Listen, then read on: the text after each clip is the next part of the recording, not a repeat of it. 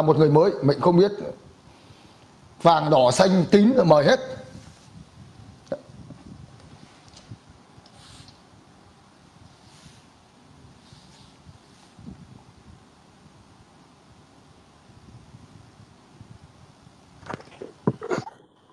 Chào anh.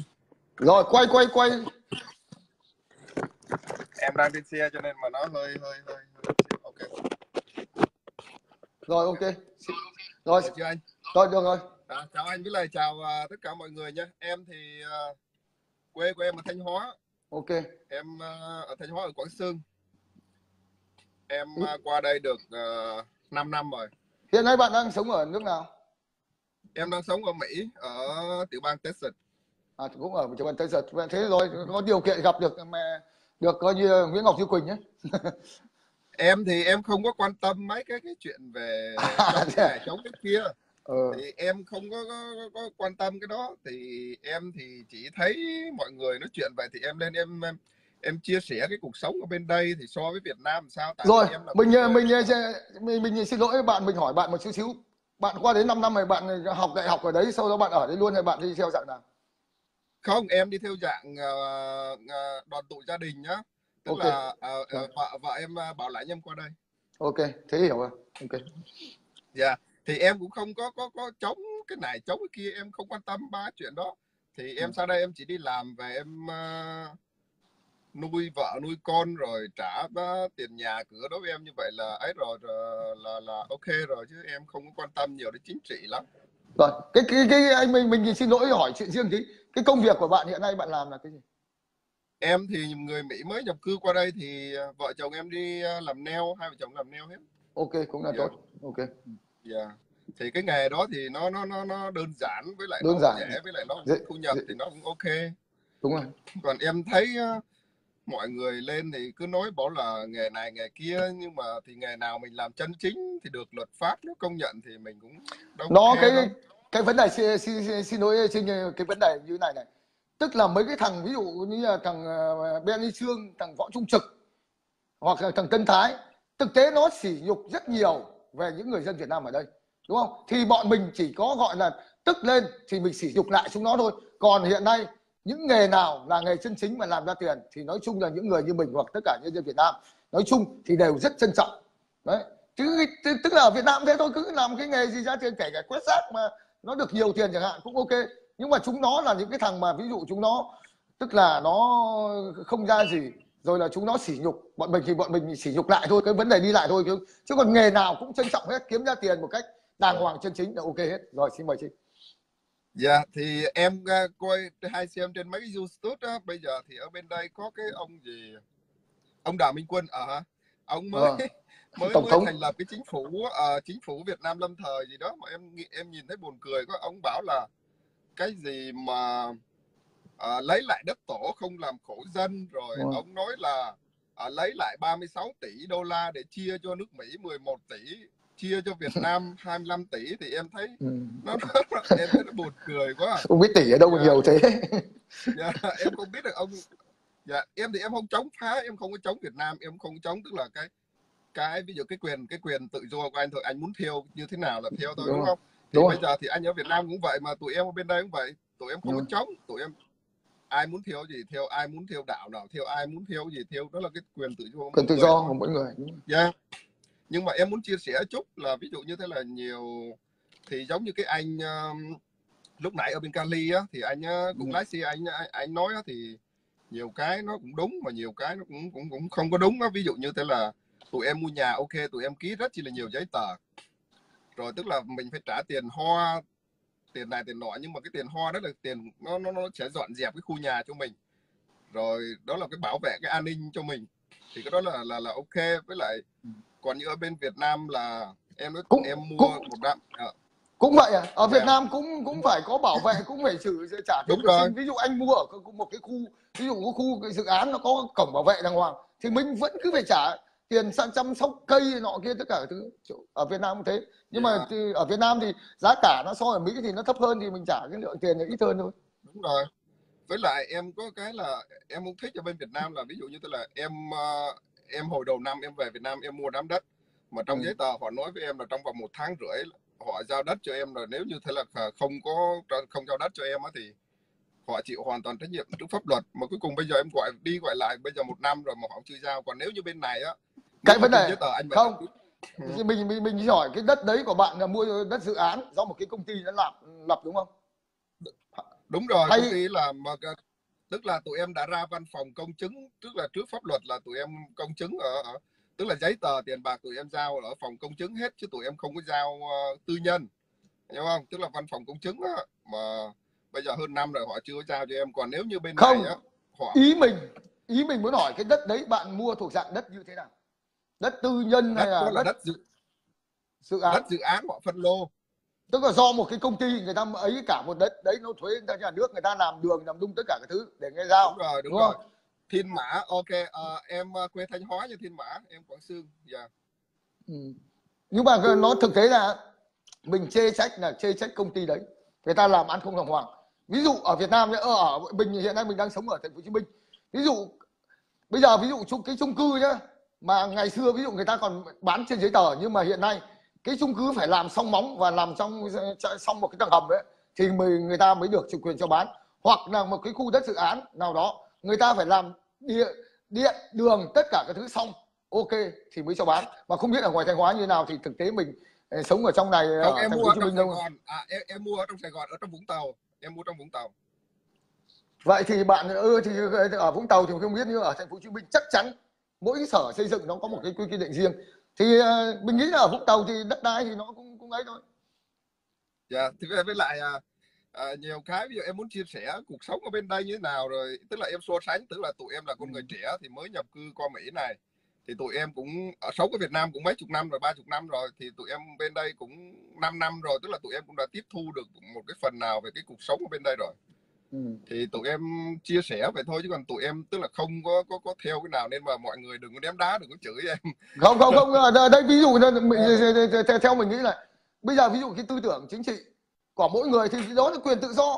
Ví dụ như bạn ở bên mỹ chẳng hạn ví dụ bạn quan tâm chính trị bạn thấy à, bạn về đất nước việt nam bạn thấy là ví dụ như đất nước phát triển mà cái đất nước hiện nay có yên bình mà đó là cái công lao của đảng cộng sản chẳng hạn. Ví dụ bạn yêu đảng cộng sản cái chuyện của bạn hoặc các bạn có một tư tưởng gì đấy bạn thấy à đất nước việt nam hiện nay nói chung nó còn nhiều nhiều vấn đề coi như là uh, tham nhũng hoặc vấn đề tồn tại chẳng hạn thì bạn cũng vẫn chưa hài lòng chẳng hạn. Thế bạn không yêu nhưng mà bạn cũng không chống. Như thế là cũng được chứ không vấn đề gì cả. Đấy là cái tư tưởng chính trị của người. à, chính xác đúng rồi tụi em cũng ừ. thấy vậy đó. Tức là khi mà sang đây tụi em sống ở bên đây á thì thứ nhất là tụi em đi ra ngoài đường tụi em không có sợ cướp giật hay là bất kỳ một cái gì cả hết ừ. này tụi em cũng không có sợ là là là là là, là, ờ, công an họ dừng lại họ họ thổi họ họ lấy tiền cái thứ của tụi em. Cái chuyện đó là không có rồi. Cái người cảnh sát ở bên đây họ làm việc cực kỳ chỉ là văn minh lịch sự.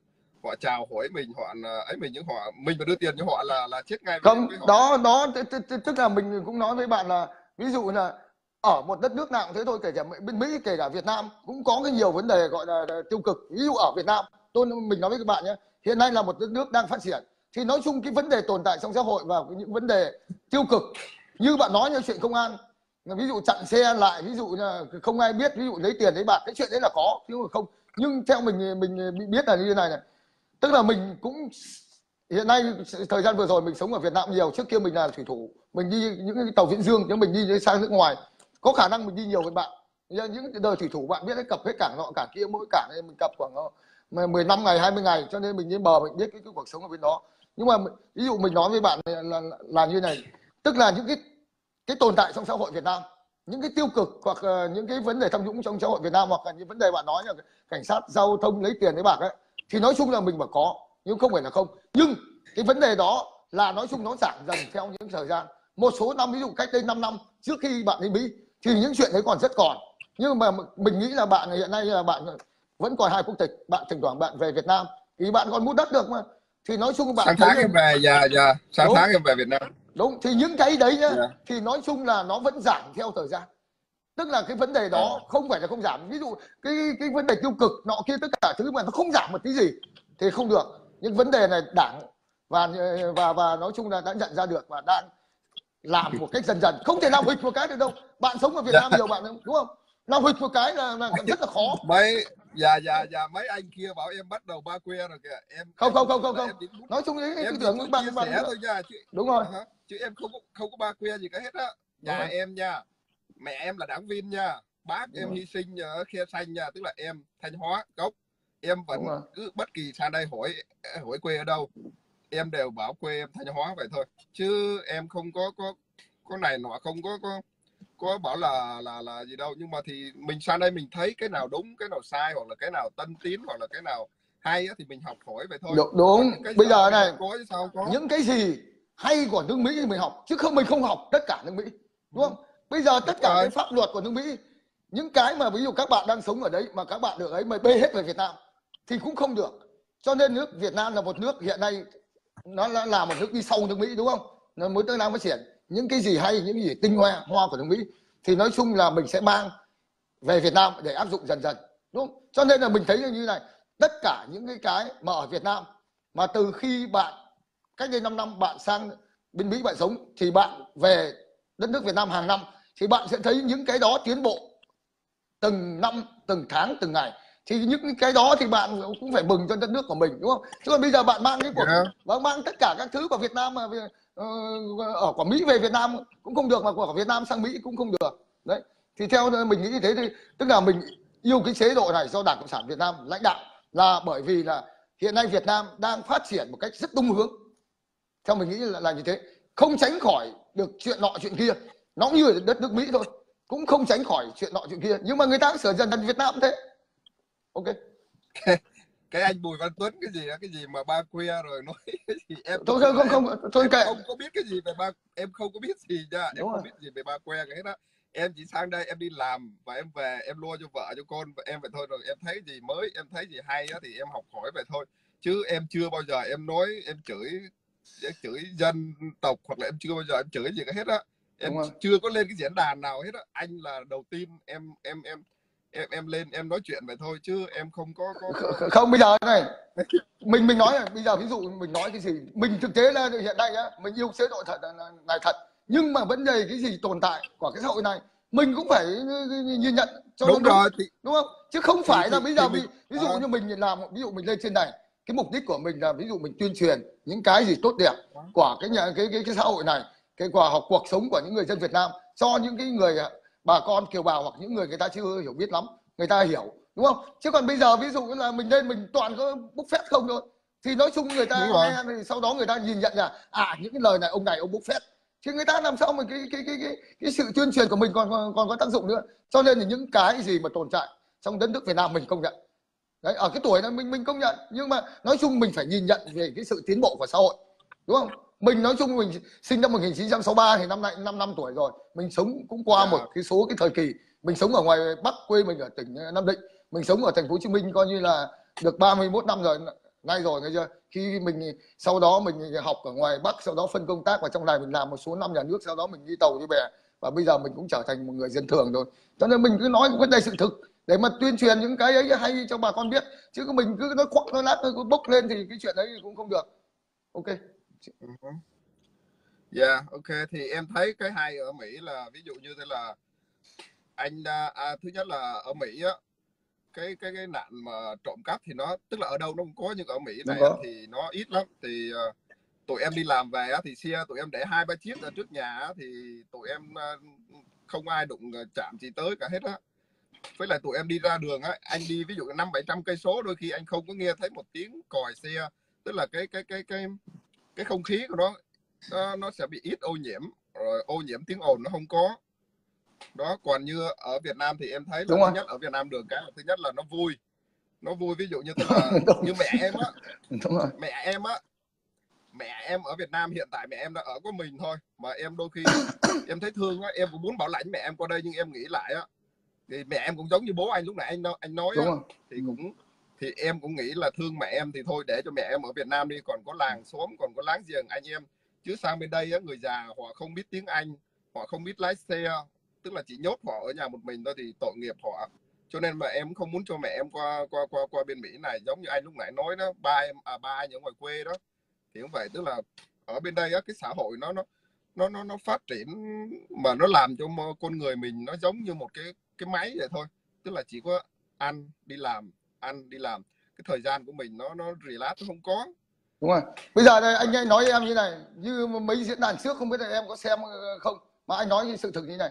Bây giờ ví dụ một số người bây giờ mình cứ nói thẳng đi, đi mỹ nhé muốn đi mỹ nhé thứ nhất là người rất nghèo ở việt nam người ta muốn sang mỹ người ta đổi đời. Đó là cái chuyện hiển nhiên. Thứ hai là những người mà ví dụ tuổi trẻ chẳng hạn tuổi trẻ nó sang mỹ ví dụ nó à nó học hành hoặc là nó muốn ở mỹ nó khám phá nó một cuộc sống mới. Nó muốn thế này thế khác thì bọn trẻ sang mỹ mình không nhận. Nhưng những người ví dụ như có cái cuộc sống trung bình và cái tuổi từ 40 trở lên có một cuộc sống nó tức là trung bình và ổn định thì không bao giờ muốn sang Mỹ nữa. Ví dụ như bản thân anh anh đã nói một câu vừa nửa đùa mà rất là thật. Bây giờ có khiêng anh sang Mỹ sống anh cũng không sang đấy. Anh nói em nhé. Thì thì đương nhiên rồi đúng rồi. Chính xác vì cái tuổi tuổi như trên 40 thì họ hòa nhập với cuộc sống Mỹ họ không có hòa nhập được tại vì á, họ họ đi ra giống như thế là một người người người câm với một ờ, người câm điếc thôi. Họ không biết làm gì cả hết á. Thì họ tiếng Anh họ không biết rồi lái xe họ không biết nè.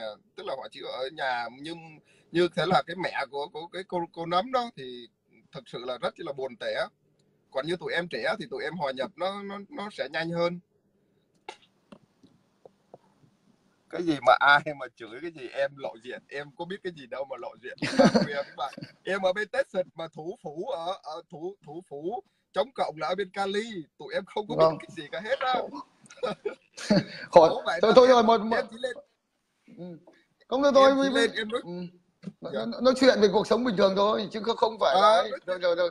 nhiều khi ấy mà các bạn cứ bảo cứ, cứ, cứ suốt ngày nghĩ là ba quay ba cẳng nhưng mà mình nghĩ là bạn bạn trinh không phải đâu nói chung là mình cứ chia sẻ với cuộc sống thực sự đâu có gì đâu à, thì em chia sẻ ừ. em ừ. thấy sao thì em nói vậy thôi chứ em đâu có tân bốc hay là em đâu có có nói xấu cái này cái kia đâu thì thì thì ừ. em nói vậy thôi còn cái bảo hiểm ví dụ như người già thì em có một ông ờ, ông ờ, ông ba ba ba ba ba dượng của vợ em mới qua đây được năm á thì ừ. thực sự á thì mọi người bảo là ở qua bên Mỹ này á thì bảo hiểm vào bệnh viện họ lo hết rồi ok họ lo khi họ lo á với điều kiện là anh phải có bảo hiểm như ông ông qua Mỹ ông bị phát hiện ung thư ở bên đây á. Thế là đi vô bệnh viện là vô ba cái bệnh viện à, chính em đưa vô cấp cứu ở bên trên xì á thì họ cứ đùn đẩy hết cho tổ chức này tổ chức kia mà trong khi đấy tụi em về nhà tụi em gọi á gọi cho cái tổ chức này á họ cũng không có cover họ uh, họ họ cũng không có nhận tổ chức kia cũng không có nhận. Tức là gọi hoài không được á cuối cùng tụi em phải đưa về Việt Nam.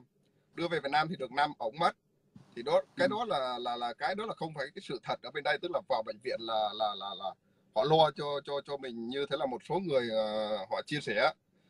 Còn á được cái là khi mà anh ví dụ như thế là con nít ở bên đây á họ ưu tiên đặc biệt cho cho trẻ em. Tức là vợ của em uh, sinh hai bé ở bên đây á tức là vợ em vô bệnh viện. Tức là tụi em không phải mang bất kỳ một cái gì vào trong bệnh viện cả hết á và trong đó thì mỗi mỗi người một phòng mỗi người một phòng tức là cái phòng ở trong bệnh viện đó nó như một cái khách sạn thu nhỏ vậy thôi họ chăm sóc tận tình chu đáo có chỗ ăn chỗ ngủ ở trong cái bệnh viện đó thì cái đó là rất là tốt thì đó là em chia sẻ vậy thôi nó hơn Việt Nam đúng rồi cái đó là Thế, yeah. Dạ. tất nhiên là bây giờ ví, ví dụ như ở bên đấy chẳng hạn các bạn đi làm chẳng hạn các bạn mua bảo hiểm nó rất là cao nó nhiều nhưng mà ở đây ví dụ ở đây Việt Nam đi đi làm bây giờ bây giờ mình nói nhá bây giờ ví dụ chẳng hạn bạn làm ở ở một cái công ty ví dụ là người rất phát triển ở Việt Nam và sau đó người ta bỏ tiền ra người ta bảo mua bảo hiểm cho các bạn coi như một cái số tiền nó, nó rất là nhiều. Thì bây giờ bạn vào những cái bệnh viện hoặc là ở lớn ở Việt Nam bạn vẫn được hưởng những cái tiêu chuẩn đó. Nó chủ yếu là cái vấn đề là tiền đâu ra đúng không? Bây giờ ở Việt Nam cái khả năng đóng thuế của người dân hiện nay vẫn nó vẫn còn thấp. Cho nên là bây giờ mình vào ở bệnh viện tức là thôi mình ờ, có bảo hiểm rồi đúng không? Thì được, được hưởng những tiêu chuẩn này. Nhưng mà ở cái mức độ nó như vậy thôi. Cho nên sau này ví dụ đất nước nó phát triển lên nữa người dân giàu lên nữa thì bạn đóng bảo hiểm nhiều. Thì nói chung là những cái chế độ an sinh xã hội tất cả các thứ thì nhà nước sẽ lo cho bạn nhiều thôi. Cái vấn đề là là trước sau gì cũng là cái tiền của mình đúng không? Đấy. Cho nên là bây giờ ví dụ như bạn so sánh Việt Nam với Mỹ về ba cái chuyện đó thì nói chung là nó một cái sự so sánh khập khiễng thôi. Việt Nam mới phát triển được cứ khoảng gần 20 năm nay. Mỹ nó sẽ phát triển được khoảng độ coi như là hơn 200 năm rồi. Thì mình so sánh thì nói chung là nó cũng khập khiễng. Đó. Dạ, thì thì Đúng em rồi. biết thì em thấy như vậy thì Đúng rồi. em em chia sẻ vậy thôi. Giờ rồi. Còn mấy người không Dạ, không. mấy người cái cái cái vấn đề vậy thôi mà bạn cứ ấy cái, tất nhiên là ví dụ những người Em- như mình hoặc một số người người ta cũng hiểu đúng không? Dạ. đấy. Chứ còn ở đất tụi em đúng rồi. Ở đất em nước nào cũng cái thế thôi. mà- còn mấy người bảo em đang ở Việt Nam mà livestream cái gì mà xạo bảo ở nước ngoài thực sự là đây thì ở ở Việt Nam là đang đêm đúng không? Tụi em ở Đúng bên đây ngày. ban ngày nè. Đúng rồi đấy với ánh Dạ, sáng đó thì- ở mình biết mà. Mình nhìn Dạ. nó biết là đang, nước ngoài. Bây giờ còn ví dụ như này. Bây giờ mình nói với bạn một câu như thế này. Hiện nay ấy, thì thực tế là đất nước Việt Nam hiện nay đang phát triển. Những người giàu ở Việt Nam bạn thấy rất là nhiều. Đấy. Bây giờ ví dụ như bây giờ về đơn giản như mà bạn có một cuộc sống như thế nhưng mà bây giờ so so về tiền. Nó nó thật bạn so với tôi thì chưa chắc là bạn đã coi như là là là ờ, chắc chắn là bạn sẽ tôi nghĩ là bạn là người trẻ bạn chắc chắn là bạn sẽ thua tôi nhiều nếu mà tính về tổng tài sản. Nhưng mà nó nói chung là sống ở một đất nước nào thì cũng có người này người kia người kia người nọ đúng không? Chứ không phải là tất cả bên Mỹ là đều là sung sướng hết hoặc là tất cả ở Việt Nam là nghèo hết. Đó. Dạ, có có một cái chị gì đó hỏi em mẫu đĩa xong phải trả bao nhiêu tiền. Tức là vợ chồng em ờ, sinh hai em bé xong thì mỗi em bé thì nó gửi về cái bill 32 ngàn nhưng mà cái bill 32 ngàn đó thì uh, Được bảo hiểm đấy. chỉ trả hết. Dạ hoặc mình không phải trả một đồng nào. Với lại thứ hai em thấy nó, ở bên Mỹ này đường cái là cái cái tỷ lệ người giàu và người nghèo nó không có phân bố rõ rệt giống như Việt Nam. Với lại cái tầng ví dụ như thành phố với lại nông thôn đó tức là họ không có cái sự mà cách biệt giống như ở ở bên mình á. Ở bên đây ở nông thôn họ vẫn có tức là đầy đủ đôi khi họ còn giàu hơn người người người nông thôn họ giàu hơn người thành phố mình nhiều. Không. Người thành phố ở nhiều. Việt Nam hiện nay nhá mình xin lỗi bạn mình là người ở nông thôn quê mình ở tỉnh Nam Định nhưng mà không phải thành phố mình ở dưới cách thành phố Nam Định 30 cây số hiện nay ở nông thôn Việt Nam nhé, nói chung là mình bảo là coi là giàu bằng thành phố không phải nhưng mà cái cuộc sống người ta cực kỳ là coi như ổn định. Đấy mà quê mình là không phải làng nghề nhưng chứ còn ví dụ cái ở cái làng nghề thì người ta nói về tài sản người ta cực kỳ giàu. Nơi mình chỉ là cái vùng nông thôn làm nông nghiệp thôi nhưng mà người ta có một cái nghề này tức là người ta làm nghề thợ xây xong rồi lên thì trên Hà Nội người ta xây cho nó người ta về xây nhà xây cửa xây cửa mua cái cái, cái, tiện nghi nọ kia tất cả thứ. Thì mình thấy là cái cuộc sống ở quê mình ấy rất ổn định. Và nói chung là nó nó nó nói chung là người dân mình gọi là giàu có không phải. Nhưng mà nói chung là ổn định và nói chung người ta sống một cuộc sống người ta cũng không lo nghĩ gì nhiều. Cái ờ, cái chị gì á, cái anh gì Bùi Văn Tuấn em đó cái gì mà cứ suốt ngày lúc nãy cứ em em cứ nói cái nào ra anh bảo là cái gì mà loài ba que với loài ba sọc đó rồi. Thực thôi rồi bây giờ này thôi bây giờ này, ok rồi Dạ. mình mình sẽ chào bạn và nói chung là mình sẽ luôn luôn muốn đón tiếp bạn ở các chương trình nhất là những bạn mới. Không có gì cả diễn đàn của mình là chia sẻ một cách coi như thẳng thắn. Thấy chưa? Chứ mình cũng không phải là bây giờ về kể cả ba ba que ba cẳng tất cả các thứ thì mình sẽ kêu lên mình phản biện. Còn ví dụ như bạn chẳng hạn mình kêu lên mình trao đổi về cái cuộc sống ở bên đấy. Mình đúng, đúng rồi mình chỉ trao đổi qua trao đổi lại cái cuộc Đúng sống ở bên mình như thế nào và bên Việt Nam vậy thôi chứ mình đúng rồi để để để cho các bạn ví dụ là ít đi nước ngoài thì các bạn hiểu về cái cuộc sống ở bên đó. Ví dụ như bản thân mình ấy, giờ mình đã giới thiệu các bạn mình là thằng, thằng, thằng thủy thủ cho nên mình đi nước ngoài rất là nhiều. Bây giờ thành Dạ. cùng là những cái chuyện này mình cũng cũng, cũng hiểu mà cũng biết được mà. Rồi ok. Rất là cảm ơn ok bạn ok và- cảm ơn anh Vâng. nhiều nha. Ok chào chào rồi rồi xin xin chào bạn. Dạ, chào anh. Thank you anh nhiều không nói chung là các bạn nói chung mình nghi ngờ thì ở trong đầu mình cũng có một cái sự nghi ngờ nhưng mà nói chung là ở đối với bạn này ấy, thì nói chung là là là mình cũng chưa có một cái gì đâu. Rồi lợi minh ờ, còn đây không? Vừa nãy lợi minh muốn xin lên. Rồi ok.